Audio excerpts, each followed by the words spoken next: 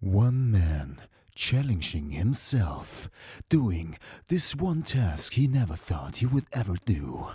Rafael Wagner performing his first time as a solo artist in the Spektakel Wien, Hamburger Gasse, Straße 14. 20 Uhr on fucking Valentine's Day. Kamera ist hier, ne? Auf der Seite. Stimmt. Jetzt hast du hier hingeschaut.